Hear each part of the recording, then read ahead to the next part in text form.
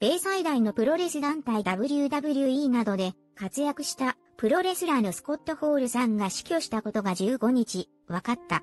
63歳。WWE の公式ツイッターが日本時間の同日公表した。ツイートでは2度の WWE 殿堂入りを果たしたスコット・ホールが亡くなりました。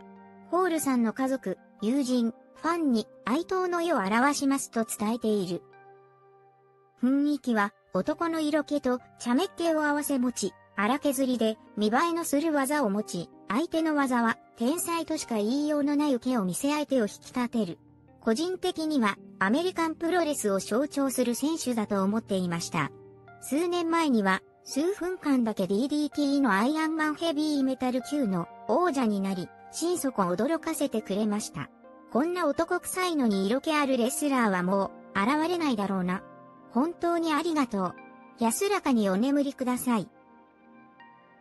複数の米メディアによれば、今月初めに股関節を骨折し、手術を受けたホールさんは12日、日本時間13日の夜に3度の心臓発作に見舞われたという。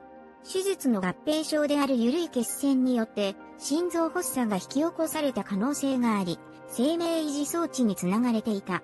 同時期に WCW などで活躍したマーグメロのツイッターによると、ジョージア州マリエッタのウェルスター・ケネストン病院に入院していたという。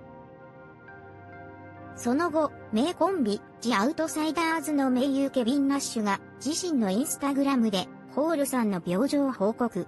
ホールさんの家族が病院に到着すれば生命維持装置を外すとし、心が壊れてとてもとても悲しい。俺は心からスコットを愛しているが、彼なしの人生の準備をしなくてはならないなどと、悲痛なメッセージを記した。その上で、ただ、偉大な男が去っていくのを覚えていてくれ。もう二度と彼のような男には会えないだろう。スコット、また会おう。お前ほど人を愛せる人はいないと相棒に別れを告げていた。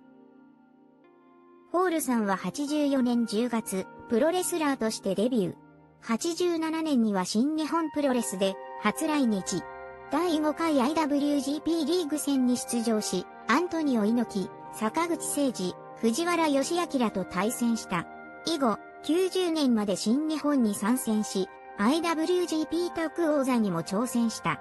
92年には WWF、現 WWE に参戦し、レーザーラモンのリングネームに変更。96年には WCW に移籍し、ハルク・ゴーガンらトヌオを結成し、プロレス界を超越した一大ブームを起こした。97年に新日本大阪ドーム大会で、ケビン・ナッシュ、長野正宏と組み、武藤敬司、スタイナーブラザーズ、リック、スコット兄弟と6人タッグで対戦。例年以降も長野率いるチーム2000のメンバーとして活動した。2年に WWE に復帰し、ホーガン、ナッシュと共にヌオを再結成。4年にはナッシュとハッスルで来日し、橋本真也、小川直也組とも対戦するなど日米マットで活躍。14年には WWE 殿堂入りを果たしていた。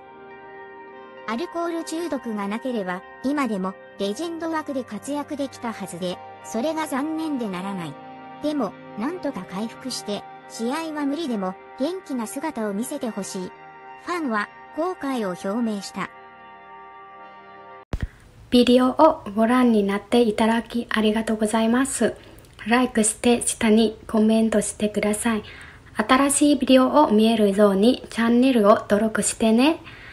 誠にありがとうございます。